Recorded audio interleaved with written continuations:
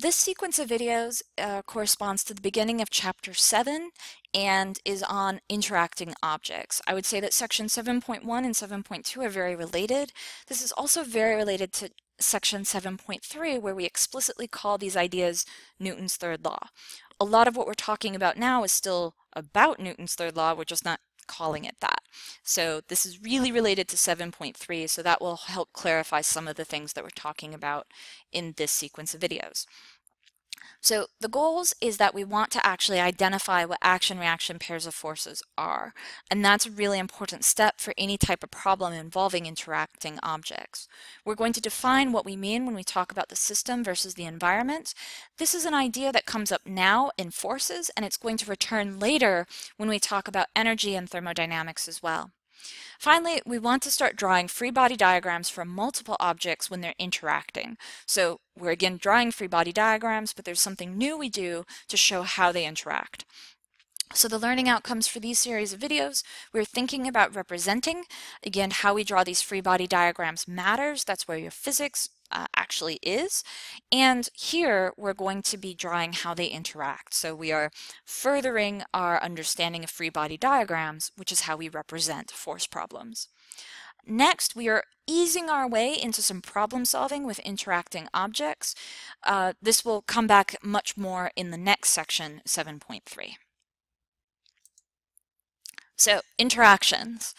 We mean something specific when we talk about interactions in physics class. And this is two objects that are normally in contact. Now they don't have to be in contact, which will come back later, but for now let's think about simple cases where things are in contact. So if we have a hammer hitting a nail, that drives the nail into the wood or whatever the nail is in. However, the nail also hits the hammer in the process. And your book uses an analogy that I really like, which is that if you imagine the hammer being made out of glass, you can hopefully imagine then if you hit the nail with your glass hammer, your hammer's probably going to break. And that's indicative of the fact that your nail is also exerting a force on the hammer. So another situation uh, related to this is a bat hitting a ball that we know that the bat is exerting a force on the ball since the ball might go flying off into the stands or whatever that happens in baseball, softball, whatever sport this is. Um, on the flip side of this, if you've ever actually batted before, you can feel when the ball hits the bat. So the bat does exert a force on the ball, but the ball is also exerting a force on the bat. So this gets into our idea of action-reaction pairs, that there are these forces that are going in both directions, but this is also the idea of an interaction.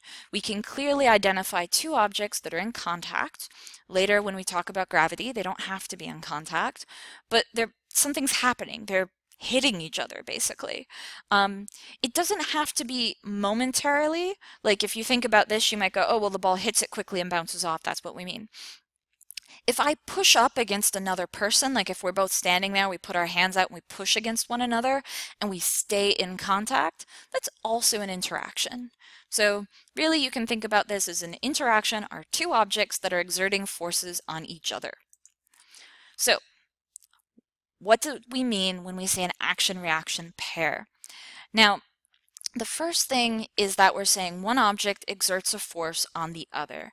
And something that's really important here is that this is symmetric. So in a way, you could just call this an action-action pair, that it isn't that one force is more important than the other, or one force is bigger than the other. That's not true. They're symmetric.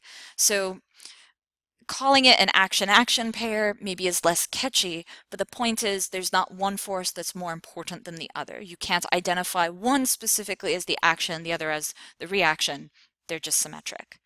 So this is going to come back when we talk about Newton's third law, good old Newton, but they are equal in magnitude, opposite in direction. So what does that mean? So in this case, you see that you have one force to the left, and you have a different force to the right, and they are the same size. So that's all.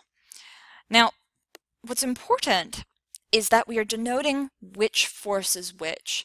The book does this with subscripts. I would really encourage you to match this uh, formalism, to match this notation. We have, for instance, the force of x on y.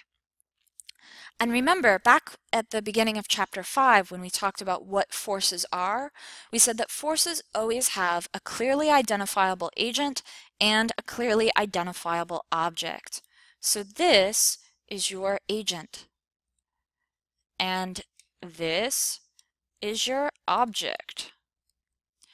So in the case where we have the force of A on B, this is the force, this blue force to the right, of block A pushing on block B. So that's what this means. And that's probably not too hard to think about, but once this is one minor detail in a much bigger problem, these little notational conventions will help you a lot. So please be careful about this. Again, we're saying agent on object is our notation here in the subscripts. Finally, and this is again Newton's third law and very important, is that these action-reaction pairs always exist. It isn't that certain forces have a reaction. It's that for every single force that we can identify, we can always identify its Newton's third law pair other force, so its reaction. What that means is that if you think you've identified a force and you claim that it does not have a reaction, that means that either you don't see what the reaction is, you're making a mistake, or you have identified something that is not a force. So going back to some of the things we've talked about earlier with things that are not forces, such as a ball flying through the air does not have force of motion. If you said that there was a force of motion, well, what is the agent? What is the opposite reaction force?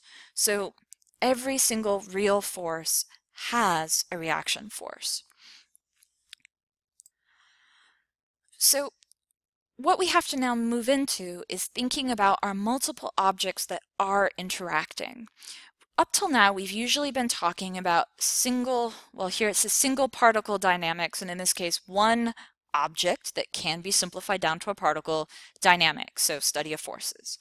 So we just say, hey, I have my object, and I have a bunch of forces that are acting on it. This is what we've been doing now for uh, two chapters force diagrams or free body diagram, right? Good old free body diagram. Now, we are going to be considering something else, which is more than one object. And what we are doing now is creating a new type of diagram.